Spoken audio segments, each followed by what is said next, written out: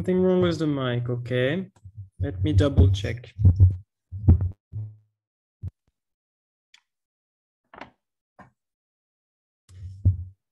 Is this guy is this working now? Can you hear me? Yeah?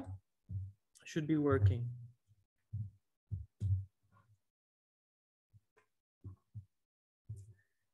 Can you guys confirm that the sound is working fine? Okay, great. Thank you very much. All right, so um, this is our um, last AS workshop actually, because today we are going to finish uh, the microeconomic part uh, of the syllabus. Uh, and I will not uh, schedule uh, additional workshops for macroeconomics, at least not for now. Maybe later, um, but this is not uh, uh, something that uh, I can um, continue to do for now. thank you, Naz. simply because it's just too much for me at the moment to have two workshops per, per week. Uh, plus uh, my work uh, at the school, plus um, um, you know maintaining the websites, plus time with the family and, and and everything, and, and it's just a bit too much. It's um, more labor intensive than I realized. Um, so I, so I, I need a, a short break to take a break so I can uh, uh, yeah have a, a, bit more time for myself, family, and all.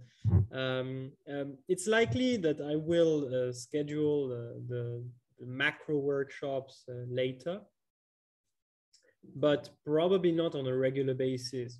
Probably not like uh, uh, every week, every Tuesday, every Wednesday. Uh, I just, you know, especially because I want to have enough time to to, to update the PPTs or to create new PPTs the summaries, and I I don't want to rush it. I want to to create documents of the highest possible quality, and at the moment this just takes too much of my time. Okay, so there will probably in a few months be um, additional workshops that should cover uh, part or the entire uh, macroeconomic uh, syllabus. But I cannot yet tell you when this is going to be. Uh, and this is most likely not going to be something that will take place every week. But of course, you are part of the WeChat group. Uh, so um, I will share information about that as soon as I start uh, scheduling additional workshops. Okay. Uh, so yeah, today the, today should actually be. Uh, I, I know I say that every weekend it it always ends up being a long workshop, but today it should really be uh, relatively short uh, because we have to cover only uh, two pretty short topics. We need to talk about price control, which, which is uh, one way in which uh, governments can uh, influence what happens within specific markets. Um, we'll see why, we'll see how it works, we'll see what are the, the main motives for price control and what are the main limitations. And then we um, need to have a look at what I simply called other policy instruments, okay? Because we talked about taxes and subsidies in detail. Uh, we will talk about price control in detail. And then there are essentially three additional policy instruments that we need to, uh, to analyze, but it's more brief. Okay, we need to have a look at the benefits, uh, how we can use the benefits, uh, like universal and means tested benefit. And we also need to have a look at government provision. And we need to have a look at nationalization and privatization. Okay, I, I put it together because it's the same process. It's going to go uh, from A to B or from B to A, but overall it's a, a very similar process. Okay, so that's why I put it. Uh, I put it together. All right, so you should already have most of the documents uh, on the website. Let me just uh, share my screen so you guys can uh, check. Uh, I think the last, the, the, there is one last document that I have not yet um, uh, uploaded, which is the summary of other policy instruments. I, I am about to, uh, to, to, to finish it. But if you go to resources, we should have pretty much everything. Uh, where is it? yeah, so you have everything about price control. Yeah, everything is there, no problem. And uh, other policy instruments, you have everything apart from yeah the summary. So the summary, I will add it later tonight or perhaps tomorrow. Uh, but apart from that, all uh, everything has been uh, uploaded uh, today. Okay, all right, let's go. Let's let's uh, let's start with maximum and minimum prices price control actually we could just uh, call it price control here let me just uh, price control that's more concise right concision is always um, a good quality. Let's go. Price control. So what is it?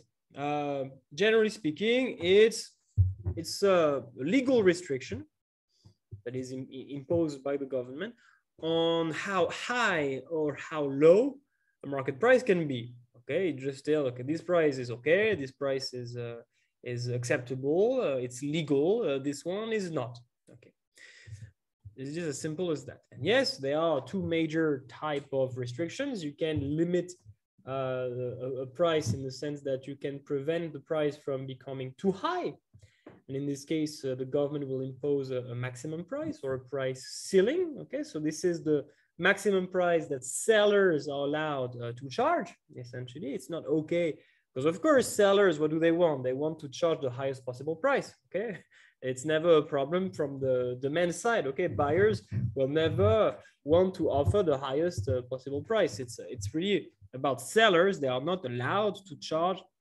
more than a certain uh, level. Okay. There are examples, uh, real life examples could be uh, for rent control. There are many uh, cities in the world that have imposed rent control uh, in order to make sure that uh, everybody can, um, everybody who wishes to work within the city uh, can afford decent housing. two famous examples would be Paris and New York. These are two cities that have implemented rent control. could be utilities especially right now. Uh, you know that the the price of uh, gas is uh, skyrocketing at the moment. Let, let's just have a look at the price. I don't know if you follow a bit what uh, what happens with the price of gas. I, I, don't have my VPN on, so let's see if I can uh, uh, if we can see the the trend. Uh, da, da, da,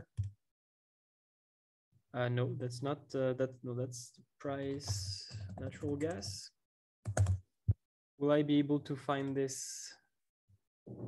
Uh, no, I, I am I'm sorry. I, I was hoping I could find the data, but essentially, yeah, the natural gas becomes very, very expensive.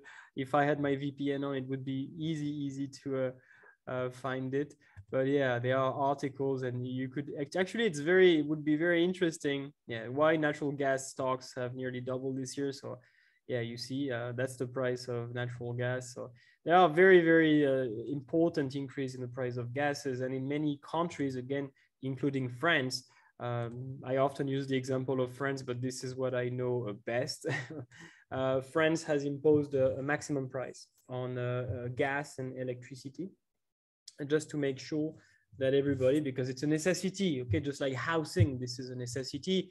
And that's one reason for which we impose price ceilings.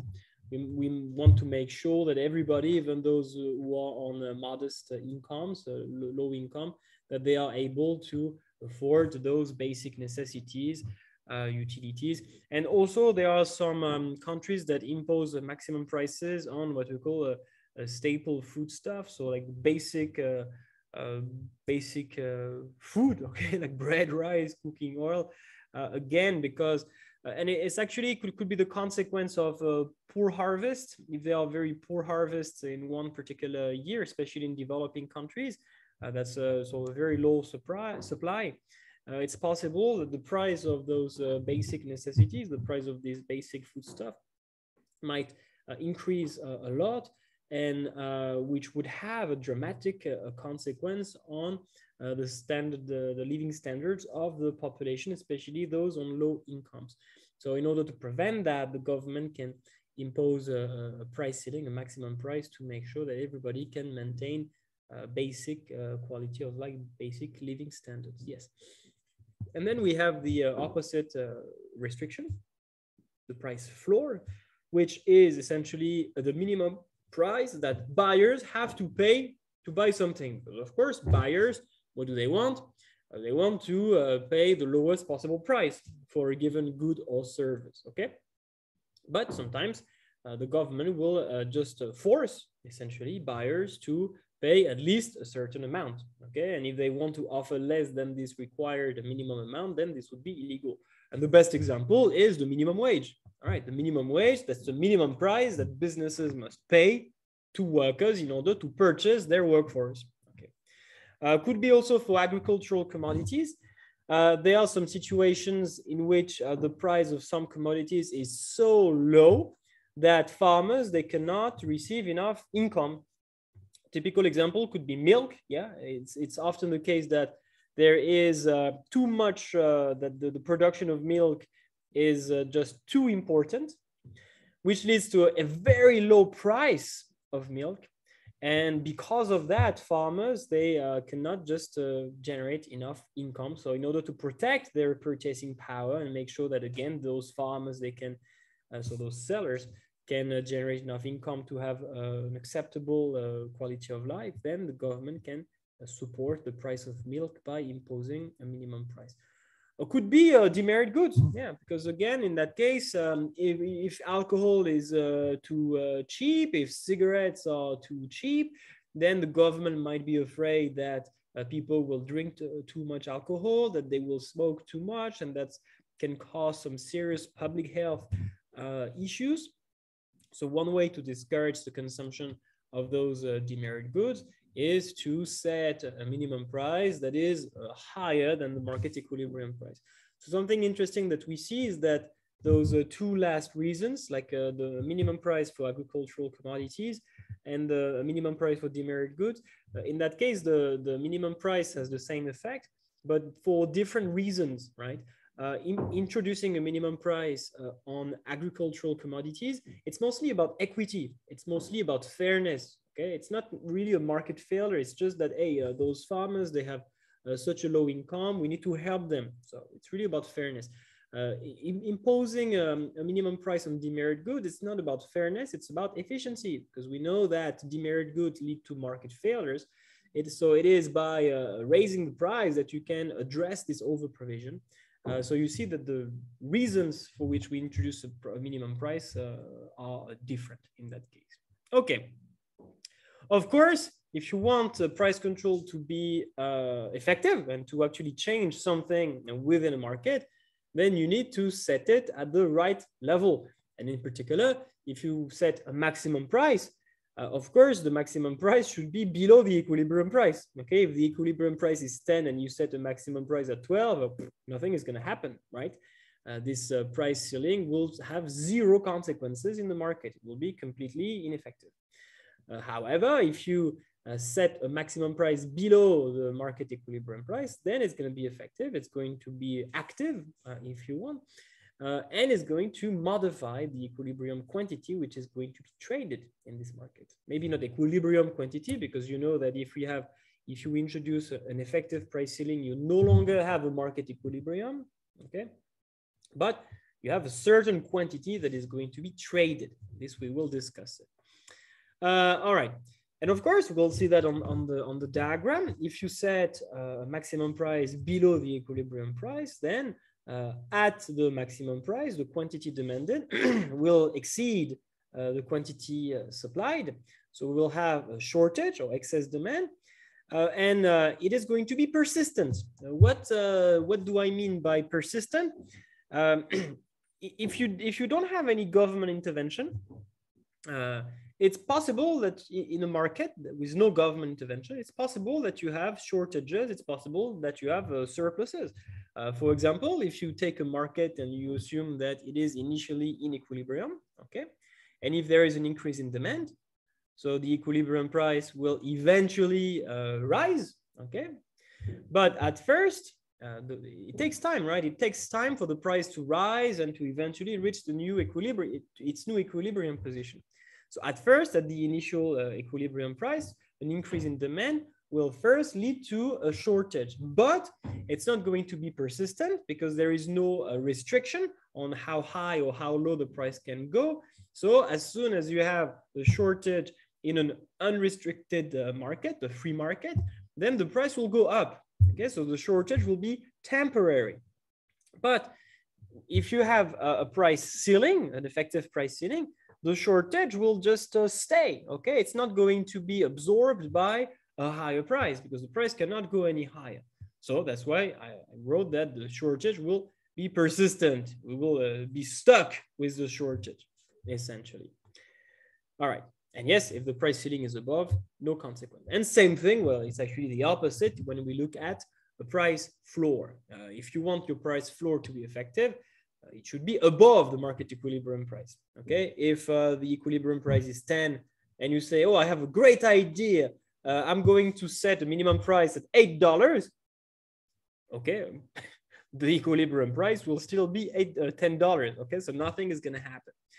Uh, and unlike a maximum price that leads to a persistent shortage, uh, price floor leads to a persistent surplus, okay? Because the, the, the, the price will remain uh, above its equilibrium position and therefore the quantity supplied will exceed the quantity demanded. And again, in a free market, in that case, the price would eventually go down and this would absorb this surplus and this would until we reach the market clearing price. But in our case, uh, this can't happen because the price cannot go below the minimum price. Okay, quite simple.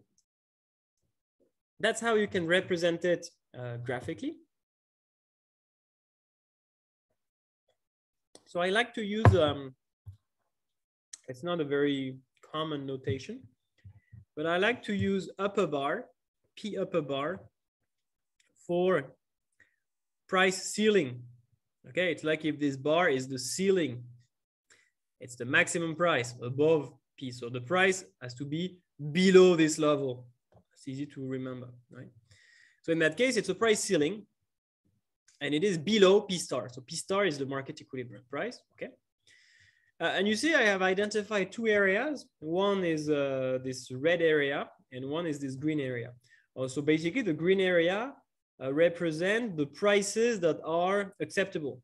By acceptable, I mean legal, Okay, it is illegal to charge a price above the uh, above the price ceiling. So that's why this uh, red area represents the prices that are not possible. So clearly here, the uh, maximum price is effective because it is set below the equilibrium price. And therefore, this will create a shortage, excess demand. The quantity demanded is larger than the quantity supplied. So this represents a price ceiling that is effective.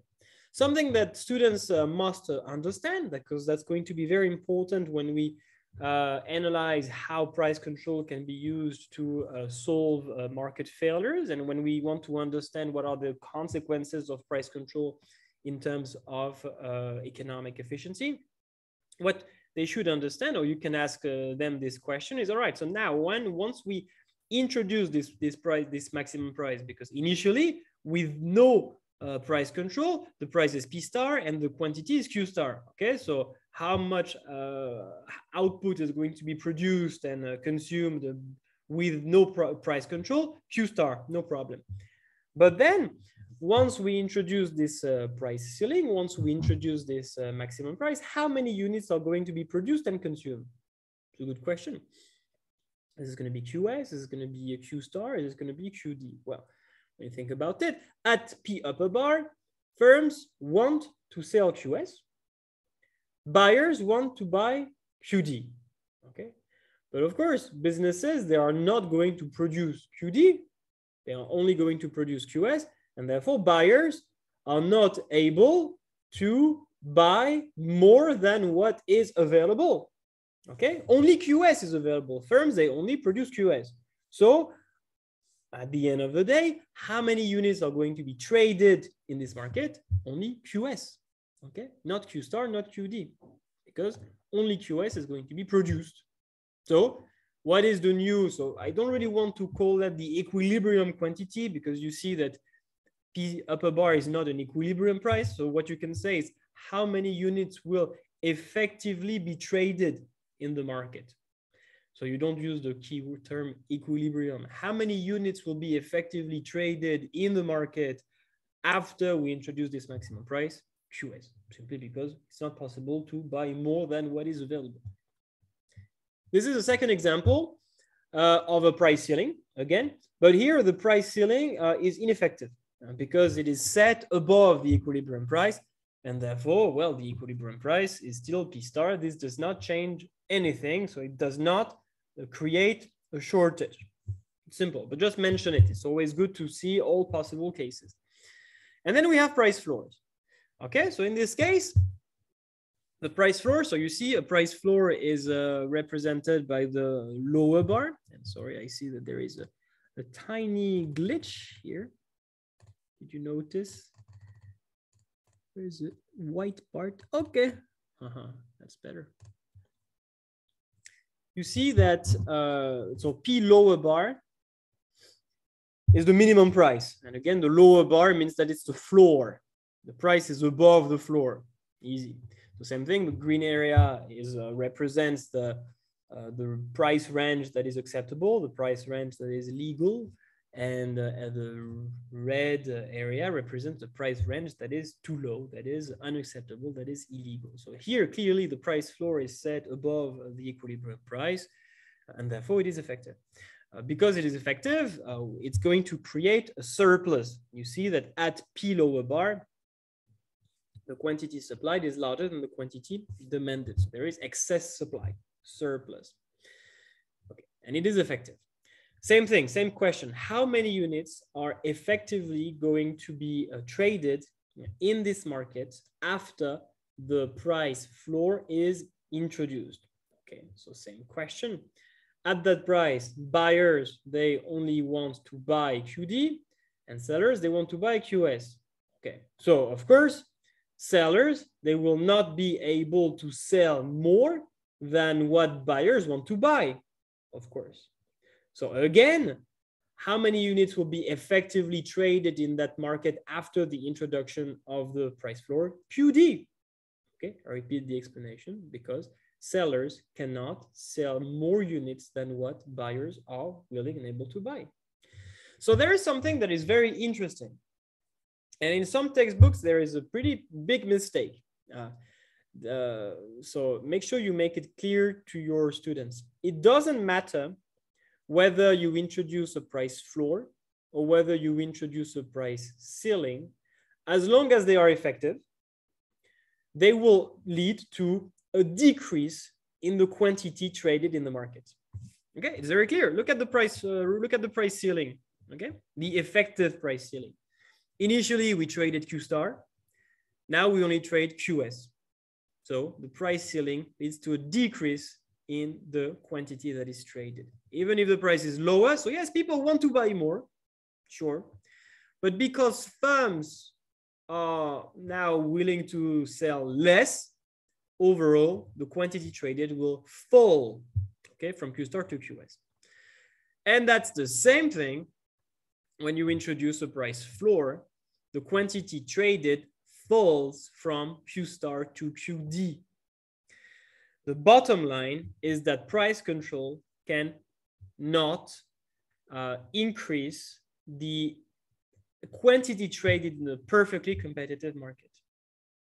I repeat, price control, price floor, and price ceiling, as long as they are effective, they will never increase the quantity traded in the market.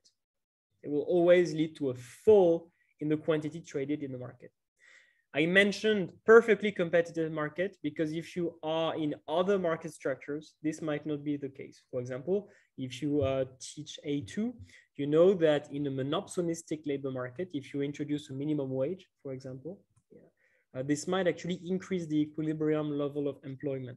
Okay, but in perfect competition and just supply and demand, that's not going to be the case which means that when you look at market failures, you can only solve one type of market failure with price control.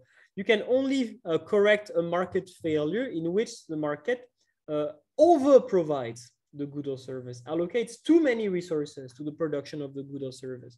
So demerit goods, for example, negative externalities, yes, but you will never be able to use uh, a price floor or a price ceiling to increase the consumption of merit goods or to encourage the production of uh, positive externalities, for example.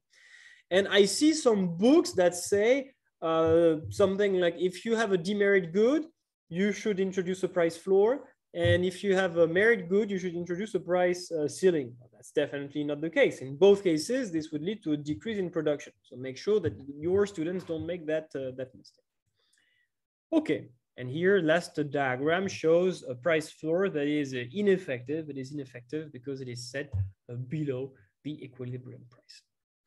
Okay, questions? Are we good so far?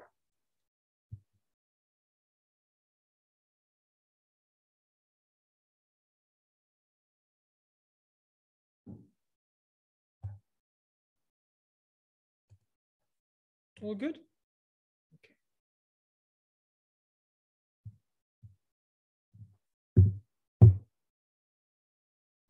All right, so why do governments do that? Why do they introduce price control? As I just mentioned, this can be one way to uh, solve market failures, but only those in which there is an over provision. So for AS, that means demerit goods. That's it, because uh, in A2, we will also talk about negative externalities, but that's not part of the uh, AS syllabus. So I know that sometimes AS textbooks, they talk about negative externalities, but if you look at the, the, the Cambridge syllabus, it should be part of A2. Okay, so um, I think it's uh, enough to focus on demerit goods. Yes, because we saw on the diagram that as soon as you introduce an effective price uh, ceiling or price floor, the quantity traded decreases. Okay, that's one reason. So it's about efficiency in that case. Could be for fairness purposes, and I already started to illustrate that. Uh, could be a situation where we introduce a price floor because we want to support the income of some sellers, okay, like farmers or milk. The, the equilibrium price of milk is too low of uh, milk farmers they don't have they they can't uh, make enough uh, generate enough income earn enough income uh, so the government will introduce a price floor to support their income or even in the labor market okay same thing we set a minimum wage uh, to make sure that all those who work can uh, well basically afford the basic or meet their basic needs okay and price ceilings we can implement them again uh, to preserve the purchasing power of some buyers. Okay, like rent control. Uh, we, the government, might consider that hey, it's not fair to pay uh, 2,000 euros for a, a two-bedroom apartment in Paris. Uh, if you have, uh, if you are married and you have two kids, uh, can you imagine if you have to pay 2,000 euros per um, per just hold on, I have uh, my battery is running low. Just give me a sec. I'm just plugging my uh, laptop. Just a sec.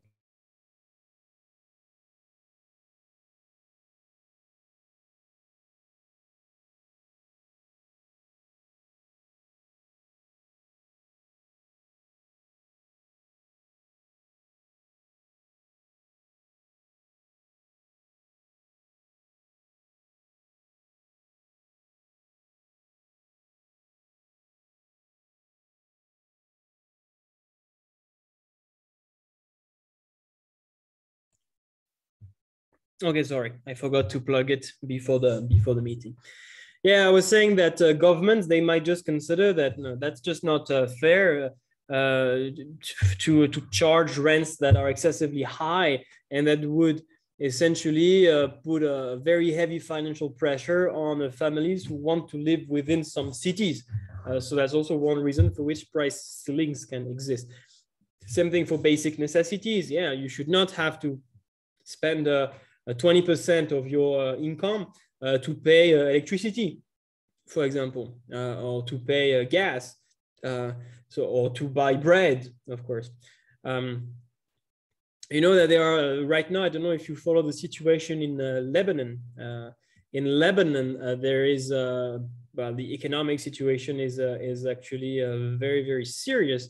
And right now, there was uh, there was an article that I read a few days back that uh, I, I, forgot the exact title, but this is something like how many uh, hours do you have to work to afford uh, a loaf of bread?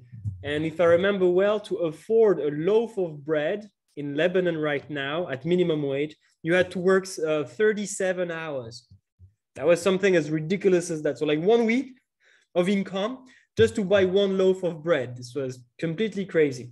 Um, so, yeah, that's also uh, one reason you, you can you can google it because i'm not exactly sure about the numbers and maybe i uh, i i am mistaken but this was ridiculous uh, actually okay let, us do it together but i i don't know if uh, with the uh, if without the the, the vpn i will be able to to find it so in lebanon how many let's see if i can work to to buy was it this article? Ah, but I don't know if without the VPN. All right, how many hours do you have to work every to afford everyday items in in Lebanon? Uh, da, da, da, For example, people who work 40 hours a week at a monthly minimum wage must work one hour to buy a lot. Oh no, sorry, I, I, I exaggerated. I exaggerated. Or maybe I was meat. One, oh yeah, yeah, that was meat. That was not bread, sorry. A kilogram of ground beef would require 23 hours and 42 minutes of labor. well, I'm laughing. It's not funny. Of course, that's just ridiculous that's just completely ridiculous to have to work four hours, the equivalent of four hours, just to buy one kilogram of meat, right? Uh, so that's uh, actually, uh, yeah, the situation is quite uh, dramatic in, in Lebanon at the moment. And that's something that is quite interesting. Uh, uh, could be a nice topic for your students to, to make a, a, presentation to try to understand the, the, the situation in, in Lebanon at the moment.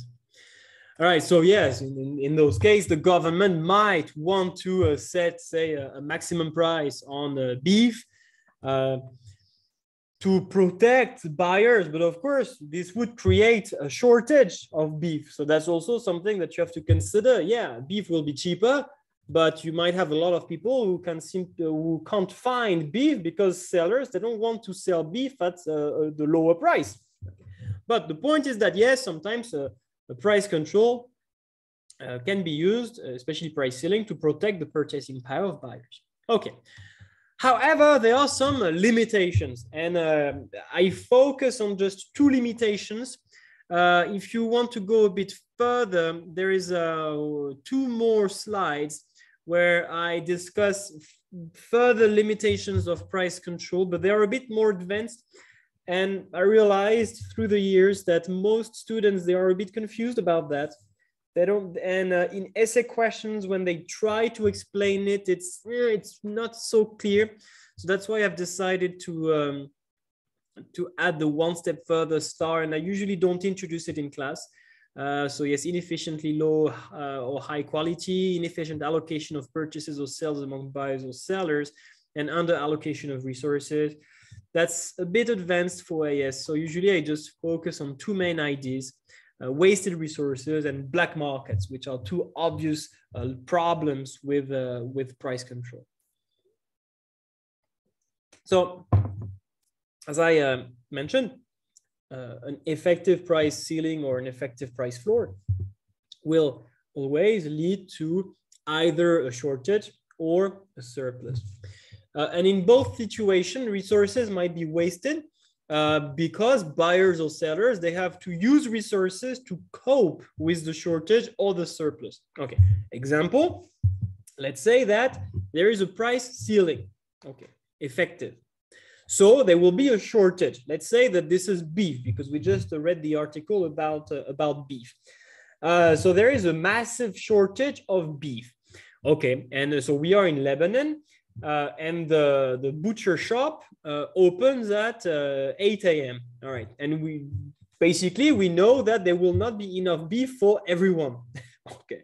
Maybe there are only, uh, I don't know, uh, 100 kilograms of beef available, and there are uh, the demand at that price would be 500 kilograms. Well, in that case, what uh, is uh, the incentive of buyers? Well, they have an incentive to go there as early as possible, to be uh, the first in line, And when the butcher shop opens, well, they can uh, actually they are they are there's still some beef available. Okay, and uh, it might actually work. But why is this a problem? Because you waste your time essentially. Uh, you use you allocate a resource, your time that could be used for something else. Okay, so there is an opportunity cost. You could use this time to do something more productive. Uh, but because of this shortage, uh, because uh, the, because you know that there is not enough for everyone, uh, you have to allocate some of your time to make sure that you can get the product. Okay, so this is a resource that could have been used uh, in uh, otherwise if there was no shortage in that market. So if there was no price ceiling in that market.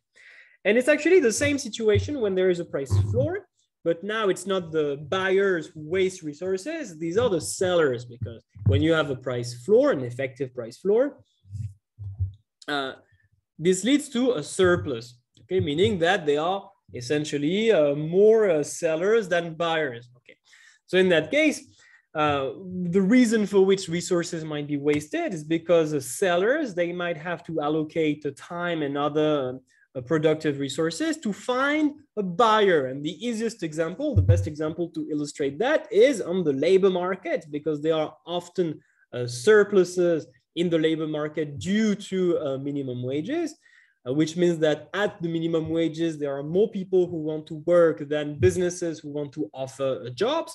And therefore, people who uh, want to work, they will uh, spend a lot of time and, and effort to find a job. Okay, it can take weeks, it can take months. You would have to spend a lot of time applying for jobs, uh, writing uh, cover letters, updating your resume, sending application, going to job interviews, and so on. It can be a very long process during, and you might have to allocate so many resources uh, to uh, eventually find a job. And as you can imagine, the the more the, the larger the surplus so the more competitive it is going to be for sellers the more difficult it is going to be for sellers to find a job in the labor market. Uh, the more likely it is that they will have to allocate many resources to uh, eventually find a job right?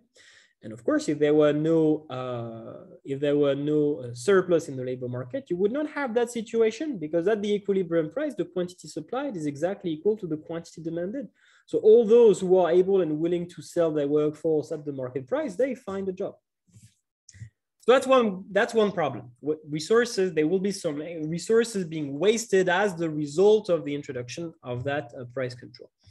Uh, and the second uh, limitation, and that's actually the, the, the, the student's favorite, as soon as you ask them, okay, what are some problems with price control? Boom.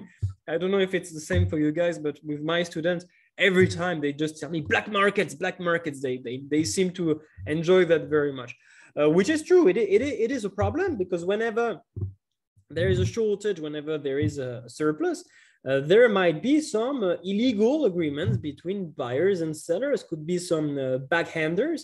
Uh, in, in the case of a, shortage, for example, you know that there are not enough uh, products for all those who want to buy it. So you might choose to offer uh, a, a price above the price ceiling in order to find a seller willing to sell to you. So for example, if the price is uh, the maximum price for bread is let's say uh, two dollars for one loaf of, of bread, uh, you might uh, offer a higher price even if it's illegal because you are it's illegal to offer a price above uh, the, the, the price ceiling, but you might have an incentive to offer a higher price in order to uh, get the product to convince the seller to sell to you and not to the other potential buyers okay?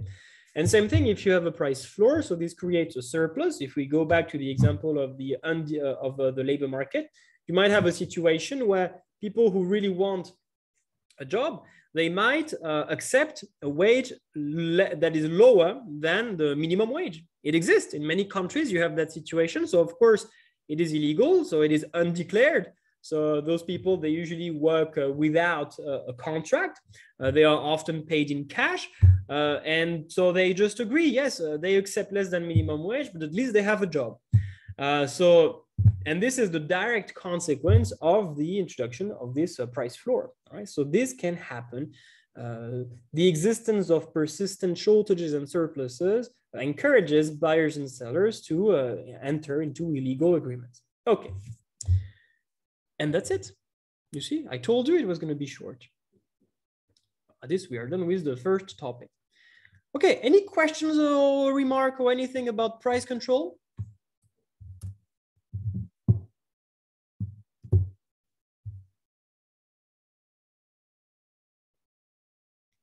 Price control, anything at all? So let me show you what we have. Uh, so what do we have? Um, yeah, so only three definitions here. um, the def the summary is only one page. And the concept, uh, no, not this one. Sorry, where is it? Uh, uh, uh, okay, may have made a mistake. I may have made a mistake. Hmm. I may have deleted my my concept card. Yes, I think so. Maybe it's still here. If I haven't,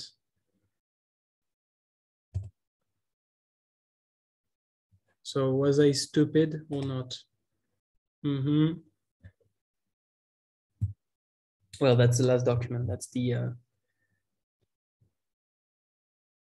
da -da -da Is it here? Otherwise, I will just uh, upload it. Yes, it's here. Okay. so this is these are the the, the, concept cards for uh, price control. All right. So it's about it for, for price control. Any questions? All make sense? Okay, great. Right, so uh, we are now ready to look at the last document uh, that I entitled uh, Other Policy Instruments. Let's just take uh, two minutes, okay, to uh, get some water, uh, relax two minutes, and then I will start talking about, yes, other policy instruments that should not take too long. Just, let's just take a two minute break.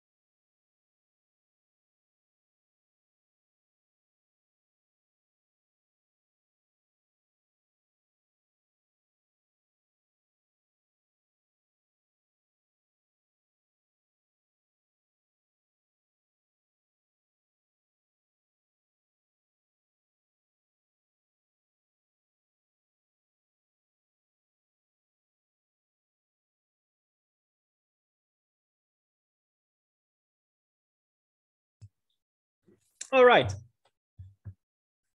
So as I said um, earlier, there are these uh, PPTs actually uh, organized into three main sections. First, we'll talk about benefits. Uh, second, we'll look at the government provision of goods and services. And finally, uh, nationalization and privatization. Okay, so these are the three main uh, other policy instruments that uh, AS students should know. And actually benefits, this is, um, uh, it's, it's, I, I, I feel like it's, it's part of both AS and A2 because in A2, we also talk about benefits, right? In the, in the third chapter, government microeconomic intervention, we also talk about the poverty trap, for example. Uh, we also talk about like uh, negative income tax, which uh, relates to benefits. So I'm not really happy with the way uh, this uh, the benefits uh, transfer payments are a bit over AS and A2. I, I think this doesn't make much sense, but yes, in AS students should know about transfer payments, different types of benefits, how they work, and so on. So let's get started. Okay. Um, yeah, I like this uh, picture because you know that a transfer payment is a one-way payment. okay.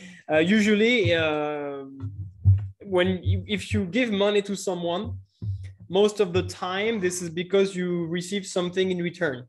Okay. You go to the restaurant, you give money because you receive a, a meal, uh, or you uh, uh, every month I receive uh, my salary because I uh, give a service to my school. Okay, uh, so for uh, the vast majority of economic transactions, uh, you have Uh, essentially two sides in any economic transaction. There is uh, uh, two flows that go that have that go in opposite direction but have the same value. Okay. Uh, and that's why, uh, for example, when we study the balance of payments, that's why we uh, that's we have uh, we use the system of double entry bookkeeping, and that's why the balance of payment will always balance. Okay, that's because of that. But there is an exception, which is the transfer payment. So the benefits, because the benefit or transfer payment is something that the government, usually the government, gives to uh, someone, could be a uh, usually, when we talk about the benefits, we talk about um, to give to households, not to businesses. We can give subsidies to uh, businesses, but when we talk about benefits, we are not talking about uh, subsidies. Uh, so the government gives uh, often money to some households, and the households they don't have to um, give anything in return. Okay, it's a one-way payment. So uh, you could actually uh, regard, uh, we often say that benefits are given by the government, and it's true, uh, but you could also consider that uh, when uh, your parents or make give you some hongbao, for example, when your parents give you some cash or, or when you give some cash to uh, to, to, to someone, we would not call that a benefit, but we can call that a transfer payment. Okay, when you just give money to someone, and if there is nothing in return but uh, gratitude, this would be uh, a transfer payment. Okay, but the keyword benefit uh, usually refers to the government uh, giving usually money to some households, and we'll see which one. Yeah.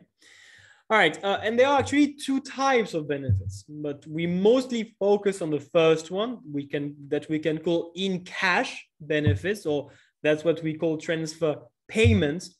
Uh, so it's a one-way payment, yeah, that is made to a personal organization, uh, even though that's mostly uh, households rather than organization, without goods or services being received in return. Okay, so you just receive money, mostly often for the government.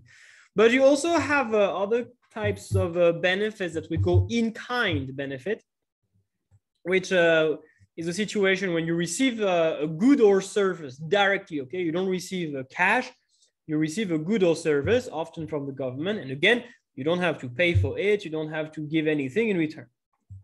So these are the two main types of benefits. And who receives those benefits? Oh, it depends, okay? But often these are vulnerable groups, basically people who need assistance, people who need to be supported could be uh, the elderly because they are retired and they have a lower income so uh, you need to support them. Could be those who are disabled because they can't work. Uh, this might be those who are unemployed because again they are uh, they might uh, not be able to um, meet their basic needs.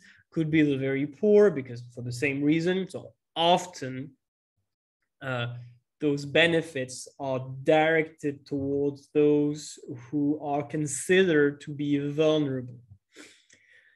Right. Why? What is the main objective? Uh, I mentioned it. Uh, usually, the objective is to ensure a basic living standard for all.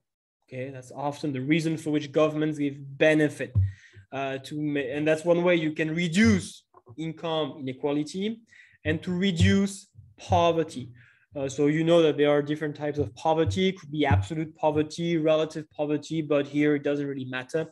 Uh, we can reduce poverty. We are mostly talking about relative poverty. Yes. Uh, and when you think about it, uh, why, why does it reduce inequality? Because uh, benefits they are part of government spending. Okay, so this is spending by the government that goes often towards those uh, on low incomes, those who can't work, for example, uh, who need assistance. But this uh, government spending is uh, financed by taxes, right? Tax, mostly tax revenue. The government collects tax revenue and then uses, uses its tax revenue to give benefits. And who pays uh, most of the tax revenue, well, those who pay, uh, those who earn a high income, so they pay a lot of direct taxes, and those who spend a lot, they pay a lot of indirect taxes. So when you think about it, if you uh, if you have a high income, you pay a lot of taxes and you don't receive benefits. Uh, so okay, so you so you don't really you pay and you don't benefit from it. But if you are, let's say, unemployed or if you're very low income, you don't pay a lot of taxes and you receive benefits. Okay, so that's why uh, benefits through the tax system and the, this uh, provision or this uh, the distribution of benefits by the government is one way to uh, essentially uh, redistribute income from high income earners to low income earners. So it reduces inequality. And there are two main categories of benefits universal benefits and means tested benefits. So universal means uh, for everyone, regardless of your income or wealth. Okay. So it doesn't matter if you are a billionaire, you can receive it given that you meet a certain criterion. Could be uh, simply something like your age. You, if you belong to a certain uh, age uh, range, let's say over 65, uh, you might uh, be able to receive a benefit from the government. Okay, so what's good about that is what's good is that it's easy to put in place if the only thing that you need to do is to look at uh, how old people are and if they are old enough for example you give them the money otherwise you don't it's very simple so the uh, the transaction cost will actually be very, very low. Simple. And it's an advantage. But of course, the main problem is that uh, if you don't really look at uh, whether the recipients are rich uh, or poor, uh, you might uh, provide money to people who do not need it. Okay. A typical example in France, for example, uh, is the child benefit. So in France, if you have a, a child, let's say you have the, your first child, uh, you will receive some uh, income from some uh, benefit from the government. And it doesn't matter if you are unemployed or if you're a billionaire, everybody receives the same amount. Okay, so that's simple. honestly, I forgot the amount. It's a few hundred euros at birth. And then it's something like, I think, 70 euros per month for your first child. So this would be around um, six or yeah, 600 RMB five, 600 RMB per month uh, for your first child. And again, it is, uh, it doesn't matter what your income is. Everybody receives the same amount. Okay, simple, but uh, if you give money to uh, the, uh, the CEO of LVMH, uh, not quite useful, right? So that's a problem. Then you have the means tested benefits. So the means tested benefit, they are benefits that are only paid to those uh, whose income or wealth is often income, but sometimes wealth is also taken into account, falls below some minimum. Okay, so if you are too rich, or if your partner is too rich, because this might uh, this really considers your household, not only you but also your your wife or your husband. If your family essentially has enough uh, income or income enough wealth, then you would not receive the means tested uh, benefit. Okay, what's uh, the main advantage? Well, we can reverse uh, the advantage and inconvenience of a universal benefit. Uh, the main advantage is that you only target those in need. People have enough income to be, uh, let's say, independent financially.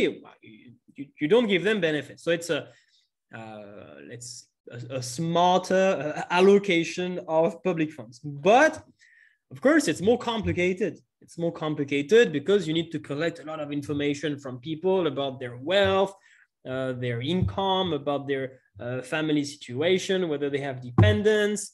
Um, is is really complicated, and you have to make sure that they don't uh, lie, that they report truthfully uh, their uh, their income and their wealth. Uh, so it's way, way, more complicated to, to, to implement. And this can lead to something that we call the poverty trap. But uh, you should not uh, talk about this in AS because the poverty trap is uh, usually something we uh, discuss in A2. if you want to elaborate on the poverty trap, then that's up to you. But usually I just uh, keep, I save this concept for A2. So I just focus in AS uh, about the first point. It's complicated to put in place. Okay, then uh, if you look at the, um, the, document that I shared on the website, I shared one. Uh, it's actually a, a web page that I found, and I found it very useful. It really helped me to uh, understand the, the benefits in the UK. So let's let me open it. Yeah. So it's just called, yeah, Understanding Benefit in the UK, the basics explained. And to me, this was a great website. Uh, so what you can do as a class activity, if you want, you can uh, print this uh, document to, to them. And you have like, uh, yeah, the most common benefits in the UK. So you have the name and you have basically a, an uh, explanation of uh, what it is, who receives it. you have examples and then what you can ask your students, so you could assign, let's say, one benefit to um, each student or, uh, or each group of students. Okay, so you have like the universal credit, the job seekers allowance, uh, well, the ESA, pension credit, housing benefits, blah blah blah. You have a, about about eight or ten uh, various uh, benefits in the UK. Uh, and then what you can do with your students is essentially to discuss, all right, is this universal? or is this means tested? Uh, I, I, think uh, all these benefits are uh, in cash benefits. I, I, don't think there is any in kind benefit. So it's just always money. Okay, it's a monetary benefit. But some of them are means tested and some of them are universal.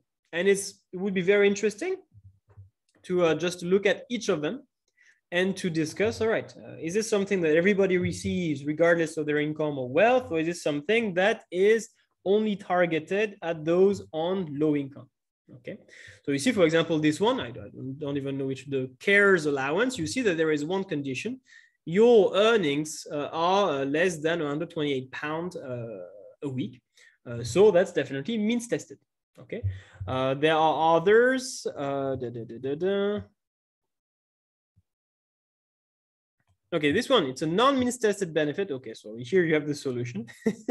so you see the, the, the, the, the attendance allowance, uh, it would be universal benefit.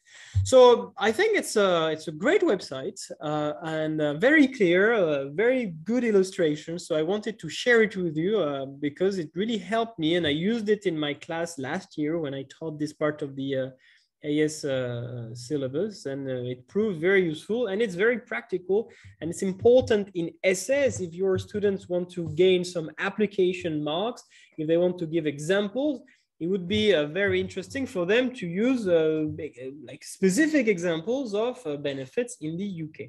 And then what I did in my PPT, I just created this table uh, and I went a bit uh, further. I, I, even distinguish in cash and in kind benefit because the, um, the, the, the, the, website I showed you focuses on monetary benefit. Okay, so you have here the main examples. I'm not going to explain each of them uh, because you have the document uh, to uh, understand what this is about. But basically, yes, in the UK, this year. This is an example of, of, benefits in the UK. Uh, these are the ones that are universal, non-means tested, and these are the ones that are uh, means tested. Yeah, means tested. All right. Uh, and there are also uh, in-kind uh, benefit. So for the in-kind benefit, I do I did not specifically focus on the case of the UK but these are the ones that I ident identify. Uh, public education, uh, if you have free public education, uh, it's uh, actually uh, an in-kind benefit. It's the government that essentially uh, provide a, a, a, a, service to the population. You receive a, benefit, so you can call that government provision. Yes, it is government provision, definitely. You provide a service or public health care. Public health care is government provision, but you can also regard it as an in-kind benefit if it is free, of course. If it is free. If it is free, it is the, the uh, uh, benefit in the form of a, service. You have like free education, you have uh, free uh, healthcare, and you don't have to do anything in return to benefit from that. At least not to benefit directly from uh, the service uh, that you uh, you benefit from. Could be uh, Medicare in the United States. Uh, for uh, people uh, for, for, for, for, public healthcare for older people could be veterans benefit you know that veterans have all forms of in-kind benefits as well they can have same thing, free education for they can have uh, discounts on the tuition fees, so things like that. So there are plenty of in-kind benefits for veterans. And means tested, you would have a, a Medicaid in the United States for those on low incomes uh, who can again benefit from uh, uh, healthcare. Uh, and then you have other example, housing assistance. so this would be in-kind benefits, not necessarily in the UK, but for AS, it's okay to focus on in-cash benefits, okay, monetary benefits. So if you want to delete the last row, so you can focus on the monetary benefits, it's fine, okay, it's, it's fine. I just wanted to go uh, one step further and just acknowledge that yes, apart from monetary benefits, you can also find in-kind benefits. Okay, questions?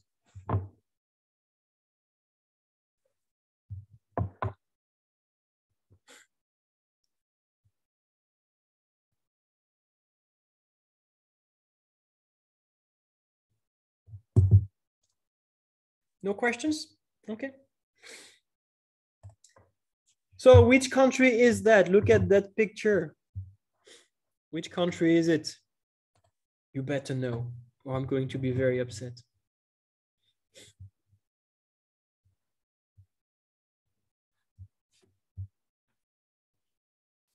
Who made those beautiful tanks? yes, this is France. These are the Champs-Élysées the big avenue in uh, in Paris, and this there is we don't see it, but there is the uh, Arc de Triomphe, you know, like the big building uh, in the background. And uh, this is actually well, that's uh, on the National Day on uh, July 14th, and of course you have like a military parade. why did I use this example? because this is national defense, and national defense is a service that is provided by the government. Why is this provided by the government? Because it is a public good and uh, private businesses would have no incentives to uh, produce uh, public goods. Okay, so what do we call government provision? It's simply a situation in which the government directly provides goods and services. So provides means produces, okay, directly produces or is responsible for the production uh, or finances the production, doesn't really matter, of uh, certain goods and services. Yes, uh, often, not always, but usually they are provided for free and financed through the tax system. Okay, so you don't directly pay for national defense. Of course, you pay uh, for it indirectly through taxes. Same thing for public education, for public healthcare, but you do not directly from for your pay for your own consumption. That's what I mean. So they are often provided for free.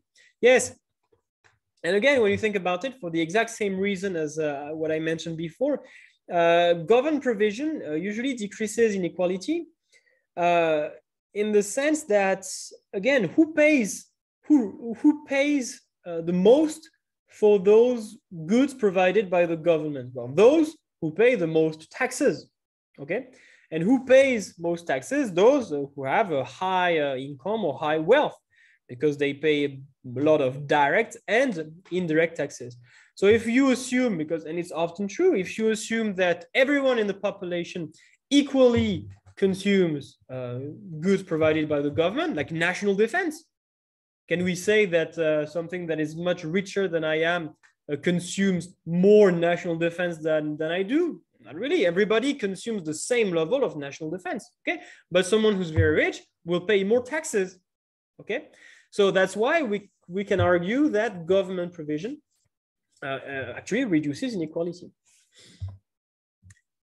Uh, yeah, why do governments do that? Well, most, most uh, one reason uh, is to say that that's because we believe that there are some essential goods and services, such as healthcare or education, that everyone should be able to access. Everyone should be able to consume or to access to a sufficient level of education and to have access to basic healthcare, regardless of their income. So it's not really about uh, efficiency here. It's more about uh, about fairness and about values. What do we consider important? We consider that it is important that everybody has basic education and healthcare. So the only way we can do this is just to provide it for free, okay, and to finance it through the tax system. So that's the main motive for government provision. Of course, uh, there are also a problem of uh, efficiency uh, there might be some goods that will not be provided by private businesses, important products that will not be provided by private businesses because they are, for example, non-excludable. And therefore, there would be uh, the problem of uh, free riding. And in this case, uh, firms would not be able to charge a price for those products. So it is up to the government to produce them. So in this case, it's a problem of efficiency. For some products, the market fails so one solution is just for the government to provide these products uh, itself. Yes. Uh, so what problems? Uh, there are some limitations uh, that are associated with government provision. Of course, if we want to provide public, uh, goods and services, if the government wants to provide goods and services, it needs to be able to finance them. So it needs to collect taxes. And collecting taxes is costly. Of course, it's not free, it's costly, and it can create inefficiencies. Uh, it's a bit early to talk about the deadweight losses of taxation, uh, but you, if you can still refer to uh, what we um, uh, studied before when we talked about taxes and subsidies, if you introduce a tax in the market, this is going to reduce the equilibrium quantities. It will be a higher price and a lower quantity, and uh, again, it's a bit early to talk about deadweight losses, but you can just tell the students that this will introduce some distortions into the market and this will have negative consequences. Okay, try to explain it uh, without using the word deadweight loss. Okay, so yes, taxes, they create distortions in the market. Uh, they can uh, uh, direct taxes can lead to tax avoidance, can lead to um, tax evasion, uh, it can uh, undermine the trickle down uh, economics. So yeah, uh, collecting taxes is not something that is uh, easy, free, and does not have any negative consequences on the economy. So this is something we have to uh, consider. There is um, another problem, which is something that is quite easy to understand. when people don't pay for something, uh, they don't they are not fully aware of the cost of uh, producing the good or service they benefit from. Uh, let me just uh, give you an example that, to illustrate it. So in France, again, sorry, uh, you know that public healthcare is free. If you walk into a public hospital, everything is free, like entirely. Um, I have I have never paid one cent in a public hospital. Uh, for, so for example, if you go to the emergencies, uh, you will never pay anything. Okay. What's the problem? The problem is that uh, people just go there uh, too often. Okay. Oh, I have a headache. I will just go to the emergency room. It's free. It's quick. I will get medications, and I can then I can go home. Uh, it's free. Uh, for you. It's not free for society. Okay, because since you have like a lot of people going to the ER uh, just for headaches. You need to hire many doctors. You need to uh, build more hospitals. Uh, to uh, buy more very expensive medical equipment. So it's very costly for um, uh, the entire collectivity. which means that we have to, fi to finance that somehow, which means that overall people will have to pay more taxes. Okay. So it's actually a problem of negative externality. You only care about yourself. I have a headache. I want to uh, get uh, medications. So I, I, go to the ER because it's free. But you don't realize that uh, if you do that, you contribute to uh, generate higher taxes for everyone else. because if everybody has the same uh, behavior as you, everybody goes to the ER, uh, we need more hospitals, more equipment. And at the end of the day, the overall tax burden increases for everyone. Uh, it's a problem of a common resource. In this case, it's a problem that is known as the tragedy of the commons, where you do not take into account the negative consequences of your actions on other people. Okay, so when something is provided for free, uh, you abuse it, basically. You, you just don't care about the whether how much it costs to produce. Of course, if you uh, if the government provides a, a product, it's uh, going to be a public monopoly, or it's likely to be a public monopoly. Uh, and again, we have not yet studied um, the negative consequences of a monopoly. This is part of the A2 syllabus, but you can just give the basic intuition. If you only have one uh, public uh, company uh, producing a certain good or service, it doesn't face any competition. And therefore, it might be quite inefficient, produced at a high uh, cost or uh, yeah, pr produce at a higher than necessary cost of production, or it might not sufficiently invest in research and development to innovate, because again, we don't face any competition. So why should we bother investing to improve the quality of our product? Why should we bother investing to improve the efficiency of our production uh, process? Because we don't face any competition. So that's one problem. And uh, of course, there might be a problem of information uh, how much to produce, how much national defense to produce, how much public health care to produce, how much public education to produce. Uh, in a private, uh, if uh, education if uh, was uh, produced only by private schools, for example, you would have a typical supply and demand market, and you would have an equilibrium price, and okay, the optimal quantity would be easy to determine. But if you provide public education for free, so that's essentially mean that uh, uh, how, basically my point is how do you know how much to produce? Because there is basically no market in this case. If you provide public education or public healthcare for free, there is no market for uh, public education because there is no price, uh, no market price. So you might either not uh, spend enough on the construction or on the provision of education, or on the other end, you might spend too much. Difficult to tell. So, and that's one advantage of the price mechanism. The price mechanism, when there is no market failure, will uh, automatically lead to the efficient quantity of resources. Will produce the best quantity. Again, if there is no market failure. Uh, but if there is no market because the government provides a good or service for free, we might not be able to identify the optimal level of provision. Okay, and that's already it for uh, government provision. Questions before we uh, look at the last part?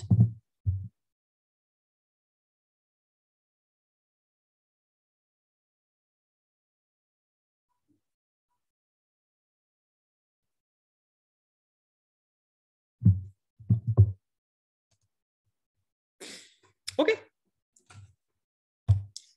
All right. So yeah, public private because uh, nationalization, privatization is just going public for, from from public to private or from private to public. Okay. So privatization, you go from uh, public to private. Essentially, you move uh, the ownership. There is a change of ownership from the public sector to the private sector. And uh, nationalization, there is a change of ownership from the private sector to the public sector. That's it. Uh, again, uh, that's one occasion to emphasize that your students should use British English. Uh, so privatization and nationalization should be written with an S rather than with a, a Z, right? Just uh, this is a British curriculum, so let's stick to a, British English uh, in terms of the spelling. Okay, so nationalization, yes, it's a process. And you see that most of my definitions, and I really uh, perhaps I've already said it, but I want to repeat it because to me that's very important. Most of my definitions, maybe not all, but really most of them, they always start by uh, the keyword that I want to define, then is, and then always a noun. Okay, is the process, the situation, blah blah blah. Uh, to me, that's a very uh, good way to start a definition. If you force yourself to start with with a noun, this is usually uh, yeah, just a good start to, to write a, a fine definition. So it's the process of taking privately controlled companies, industries, or assets, yes, or assets in general, and putting them under the ownership and control of the government. Right. It's a bit long. There could be shorter definitions, but I like it because it's clear and comprehensive. So these are examples of things that have been uh, nationalized in some countries through um, history. Could be banks, could be telecommunication companies, utility companies. That's uh, because they are natural monopolies, uh, transport infrastructures, blah, blah, blah. Uh, I will give some examples later. Okay. Uh, why? Why do we nationalize? What's the main uh, reason? What's the main advantage? Well, sometimes it's just better to have one firm uh, producing for the entire market than having many small firms uh, dividing the market or like competing within the market. Uh, and this is because there are some industries in which there are very substantial economies of scale. Uh, so again, this is not something that we have yet uh, taught in AS. So be careful. Just uh, just give them the basic intuition. You can just tell them that so economies of scale is when the more you produce, uh, Uh, the lower your per unit cost. Okay, basically it's cheaper to produce uh, one unit on average if you produce a lot than if you produce a, a, small amount. Just try to use simple words to explain it. And so because of that, uh, if, if you can have a much lower cost of production or average cost of production, if you produce a very large quantity, it actually makes more sense to have one single firm uh, that produces for everyone. But the problem is that if you have a private monopoly, if you have one single private firm that produces for everyone, uh, it's actually not a very good idea because if you have a single private monopolist that wants to maximize its profit, it, it might charge a, a, very high price, okay, because it has a very strong market power. It is the only firm within the industry. So it's actually better to have one single public monopolist, uh, which will have a very strong market power but uh, which is which is not going to take advantage of that power, which is not going to use this power to charge a very high price. Okay, so that's the uh, the argument. Could be um, to correct market failures and defend the public interest. Could be, uh, of course, we nationalize, uh, for example, because uh, we believe that uh, private firms they produce too many demerit goods. Uh, so we nationalize uh, private companies uh, that because they we feel like they don't do a good job essentially we say okay you guys you produce too many uh, demerit goods so i'm taking over your business. I'm nationalizing your businesses and i will produce the right quantity of demerit goods. Could be same thing with merit goods okay? Some uh, uh, companies producing merit goods perhaps they do not do a good job in the sense that they charge a price that is too high uh, and at the end of the day the quantity of merit goods is insufficient in the private sector. So the government nationalizes uh, and to produce more, essentially, to produce a larger quantity of, um, of, uh, of uh, merit goods. Could be abuses of a dominant position. There is a private firm that just charges a price that is too high. And this leads to an under provision. Essentially, there are not enough uh, consumers able to consume the product. So the government can say, right, I'm nationalizing this, uh, this business and uh, I uh, will set a price that is uh, lower. So more people are able to afford this product. And uh, this is sometimes, and uh, we had great examples with um, the COVID 19 crisis. This can be one way to protect companies that are considered um, strategic for, for the country. Sometimes they are uh, important companies, um, strategically important companies that are about to go bankrupt. And essentially, we can't really afford to uh, uh allow those companies to go bankrupt. Uh, so we can simply save them. And one way to save a private company uh, which is in trouble is to nationalize it. So we have we have had examples of banks whenever there is a financial crisis in some countries, governments have uh, nationalized banks in order to save them because they were afraid of the consequences if the banks uh, went uh, bankrupt. Uh, or in the in some countries uh, after COVID-19, the governments have nationalized airlines. Which country is it? Sorry, I think I forgot. Um, let's let's check. Which country has nationalized its main airline because of COVID? I forgot. Let's see if I can find it. India, maybe.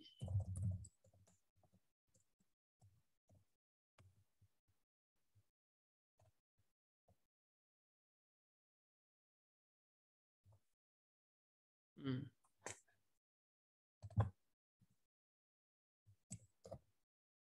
Am I gonna find it? Why do I only find this? Uh, well, maybe you can look into it. I, I forgot. Is this India?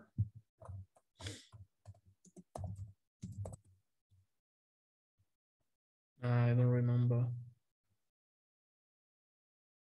All right, sorry guys. I don't remember which country nationalized maybe there are several, there is at least one. There is at least one decided to nationalize. I don't know if it's the largest, maybe the second largest airline.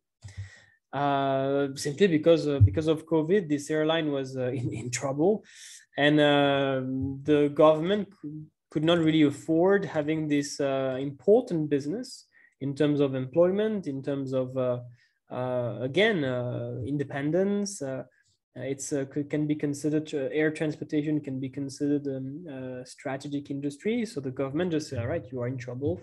Um, we will save you. We nationalize you, so you can continue to operate essentially. But there are some problems. So for just like uh, in the case of government provision, because of course, when we nationalize, uh, usually what we do then is to produce. Uh, so uh, if you want, the nationalization comes uh, before government provision. So we nationalize and then there is a public company or there is an asset or owned by the government and there is some government provision going on, okay? Uh, so we have the same problem as before. Uh, there is no, there not necessarily because it's possible that the public companies um, competes with private companies, okay? you could look at uh, uh, healthcare, for example. In most countries, you have public hospitals and you also have private hospitals. Um, so in this case, there is some competition between the public sector and the private sector. Okay, but assuming assuming there is uh, no competition, that there is one single public company operating in an industry, like uh, uh to produce electricity, to produce uh, for railway transportation or for airlines, for example, then this absence of competitive pressure is going to uh, lead to what we call X inefficiencies. But again, X inefficiency is something we usually learn in A2. So you can just uh, explain it with simple words, say uh, that in that case, we don't face much competition. So we don't have a strong incentive to keep costs as low as possible. And just like I, men- I mentioned earlier, why should we bother innovating? why should we invest uh, a lot of money in r&d to improve the quality of our product to have new features or to make our production process more efficient if we don't face any competition italy aha is this italy who nationalized the can i open it without the vpn Uh, it seems like no. I think you, I need my VPN to open it. So Alitalia nationalized by Italy. Okay, I'll look into it. Thank you, Metro. So yeah, that's one illustration of how nationalization can be used to save uh, strategic industries that are in trouble. All right so yeah, we still have a, a disadvantage of. Uh... All right, thank you, Mitchell. Another disadvantage of nationalization is that uh, when you have a, a public company, decisions might be driven by political interests rather than by uh, economic uh, reason. Okay, so basically we make decisions uh, uh, and we care about uh, the political uh, implications and we might not really care or we might not only focus on the economic implications so which means that sometimes the decision to nationalize a company is just one way to gain political support from the population. Uh, even if it's actually um, a bad economic decision. Example that's not a real life example it's just a, a story. Let's say that there is a very large company that hires uh, thousands of people in a country. And it is about to go bankrupt because it produces something that is a bit uh, outdated. Or obsolete. Okay so basically this is uh, it operates in an industry that is dying that is shrinking. So it struggles or maybe it is uh, it, it is uh, in trouble because it faces the competition of uh, foreign businesses that are that can produce at a lower cost or that can produce at a higher quality. All right so basically there is a large company that is in trouble. And uh, economically speaking uh, it would make sense that it, that this company goes bankrupt okay if nobody wants their product anymore if or if uh, foreign competition is just stronger okay it's uh, tough, but that's just uh, how competition works. But uh, the government might uh, feel like, hmm, uh, if uh, this company goes bankrupt, we're going to end up with thousands, tens of tens of thousands of people who are going to become unemployed. Hmm, that doesn't really look good, right? If I want to be reelected next year, I might I might actually be in trouble for that.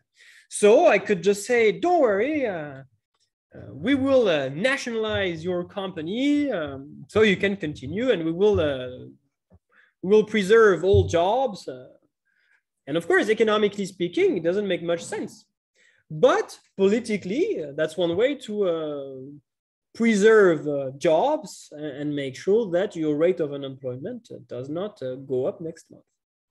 So that's one possible problem with nationalization. There is always a combination of uh, political and economic uh, motives. And finally, again, if you have one single, uh, in the event, if there is one single uh, public company, uh, first, there is not much diversity. There's not much product diversity. That's one problem with monopolies. You have one single seller and again, if there is a, this single seller might, not always, but might offer a product of low quality because again, there is no competition. Competition can be uh, or can encourage businesses to provide the highest possible quality.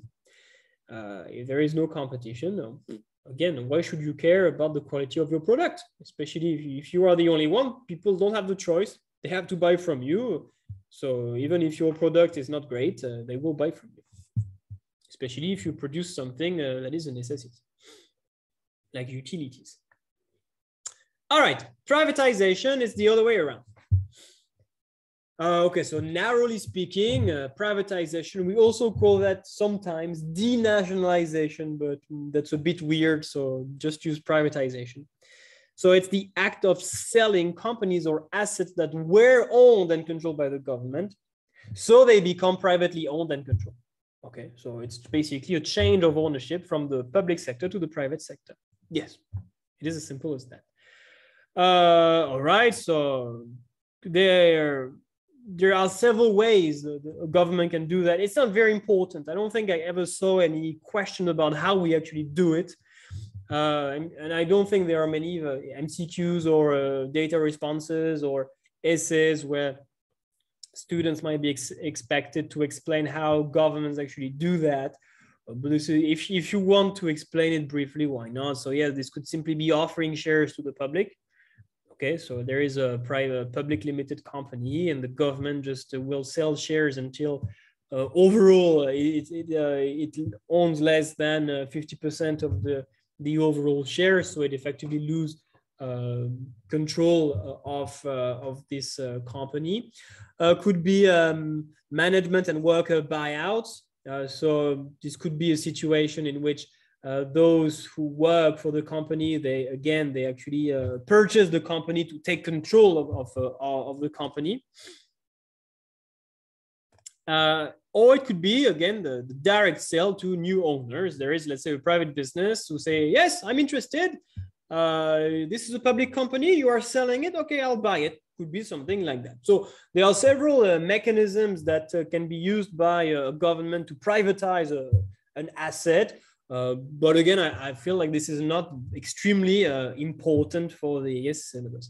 Or could be, sorry, I forgot this one, could be a partial sale uh, with the government retaining some share in the new business. Uh, so this is uh, the same as the first point. But in the first point, I, I, guess that I meant that all shares go to the private sector. and the last point would be we sell some shares to the private sector enough to so so the company is now owned and controlled um, that the majority of the company is owned and controlled by the private sector, but the government can keep some influence by retaining some shares in the business. So, for example, in France, again, the National Railway Company, the SNCF, is partially owned by the government. Okay, so some of it is owned by the government, some of it is owned by, uh, by the private sector. That would be an example. Okay, uh, what's good? What's good about privatization? What do, uh, why do governments privatize some assets? The idea basically is that if you privatize, you will, this will lead to more competition. Okay, uh, you will have more private businesses competing.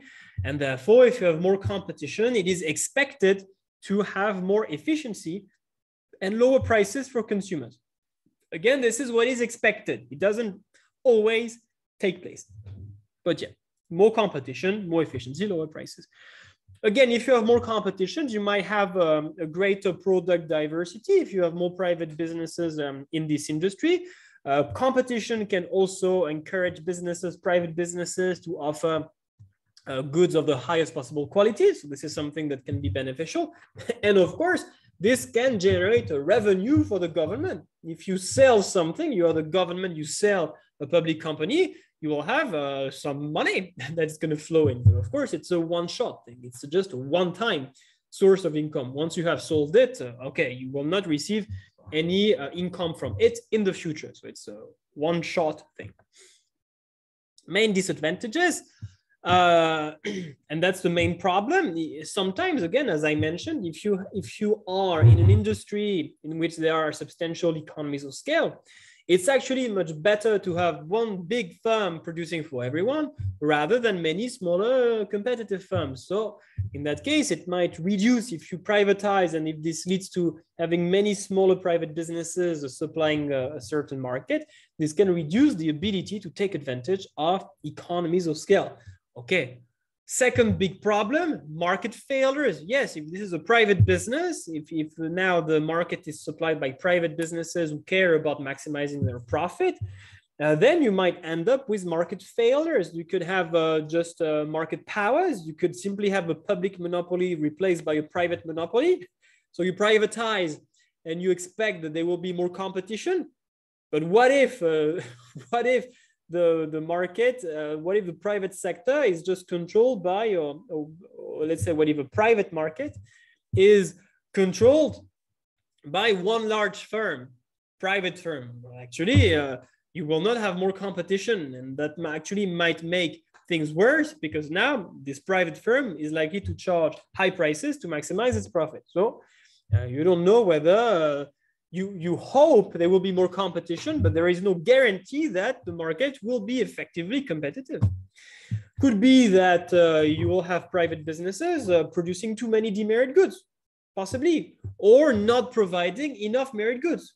Okay, so you basically you expose your economy to market failures if you privatize, and this can also lead to a higher unemployment, because again, private businesses, they want to keep their cost of production as low as possible.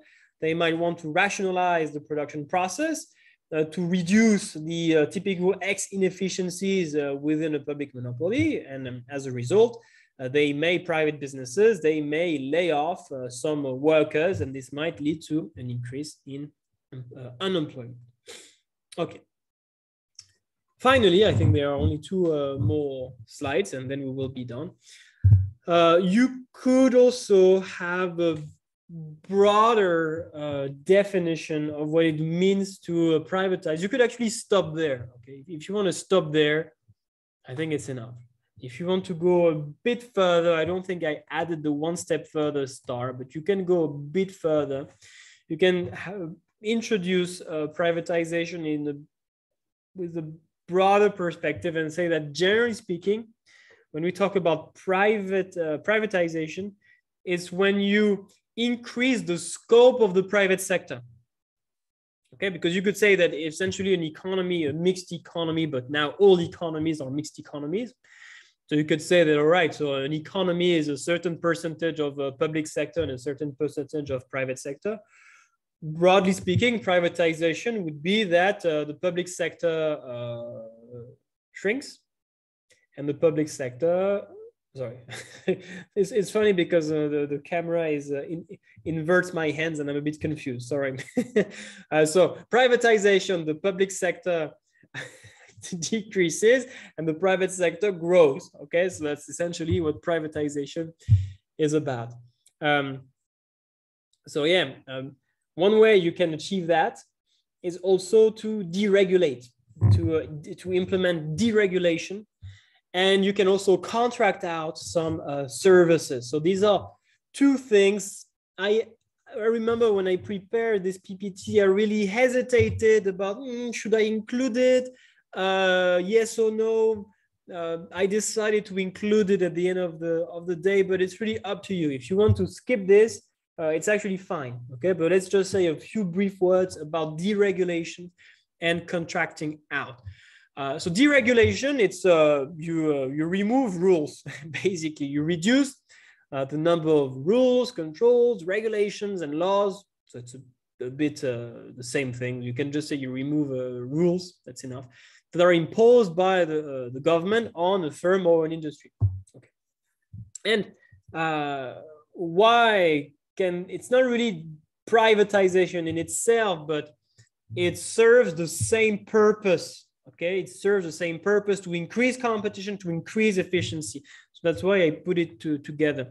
There are many examples uh, throughout history uh, in the uk in, uh, in the usa so uh, your students are not expected to know them but you can just give examples of some uh, laws some acts that were passed uh, whose objective was to reduce those the amount of the number of rules that were imposed on businesses and again, what, uh, what happens when you deregulate, you uh, effectively remove or reduce uh, barriers to entry within a market. You make it easier for private businesses to uh, enter a business or sorry, to enter a market or an industry that was initially uh, protected uh, by or that was initially controlled by the public sector okay uh, so could be something uh, yeah so that's essentially what this is what deregulation is. And uh, that's one way to increase competition uh, so uh, greater efficiency lower prices higher quality blah blah blah. That's exactly the same the same idea overall. Uh, and another way in which the government can implement a, a, form or broader form of, of privatization is to use uh, uh, to contract out or to outsource, which is simply a situation where the government just uh, hires or just basically gives a private firm the responsibility to produce something, okay, to run a public service. Could be education, healthcare, waste disposal. Uh, yeah, so contracting out the process of awarding contracts to private companies to run public services. Okay, so the, it's not it's not a public company. The government just say, all right, there is uh, something we have to do. We have to take care of uh, waste. So we need someone to do this. Uh, no, we, we're not going to do it ourselves. We're going to pay a private company to do it. Okay. So again, that's one way. You can rely on the private sector uh, to uh, and, and benefit from all the advantages that are associated with private sector uh, production. Okay. Yeah, all right. And I think that's about it. So, you know, now, now that I, uh, now that I do it again, because I have not yet taught this to my AS students, I, I, I think that this year I, I, I don't think I will talk about these two last slides this year. I think I will stop there because it is a bit redundant and I, I don't really remember many questions in AS about uh, contracting out and deregulation. So I will most likely stop there with the main advantages and main disadvantages of privatization because these two final slides, they might be a bit confusing to some students. So yeah, I would actually advise you not to go through them and simply to stop here. I think the main ideas are there. It's definitely enough to answer all MCQs or to answer uh, uh, all uh, essay questions and data responses that might be about privatization. But if you are, if you want to go one step further, fine, you can talk about uh, deregulation and contracting out. I'm done. So uh, what do we have? Uh, so same thing there. So the summary will be there soon. Uh, you have uh, definitions, not that many. This is the list of uh, definitions that uh, are about this topic. concept cars, so what we have to draw here? We have to draw, let me check, a frog and a caterpillar. Okay. And also the essay questions. These are the essay questions about price control, direct provision, nationalization, uh, cost benefit analysis. Actually, I don't really know why it's there should not be there, sorry. Cost benefit analysis, that's uh, A2. Uh, you should remove it. Okay, sorry. And uh, yeah, and you have this document, understanding the benefits in the UK. And the summary is almost done. I just need to add a few things. Uh, it's probably going to be just two pages. I think two pages should be enough. So I've already summarized benefits. I just need to uh, summarize the rest, but that should only take uh, one page. So overall, two pages should be enough to summarize everything there is to know about this other policy instrument. And I am done. Hey, I think that's the first time I finish in advance. Any questions?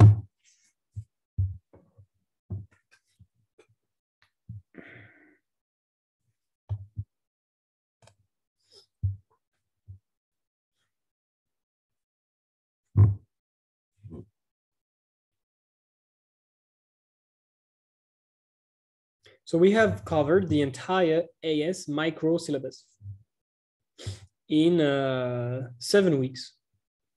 So uh, about 14 hours, a bit more, because sometimes my workshops were much longer. But yeah, 14 hours, maybe 15, maybe more. But you have, uh, now you should have everything there is to know uh, about that part of the syllabus. Just to give you an idea of my own pace, uh, even though it's a bit uh, hard to compare because uh, I started from chapter from unit two because I co-teach AS. Uh, but uh, last year, for example, I finished uh, microeconomics in in November, something like yeah mid-November, around the 10 or 15th of November.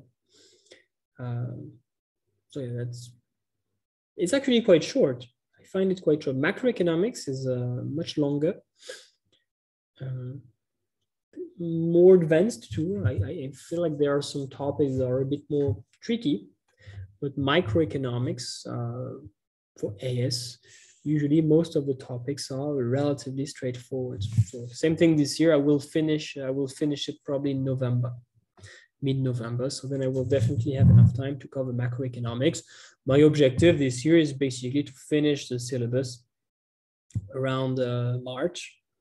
So then we have basically two months to uh, review before, before paper, paper two. No questions?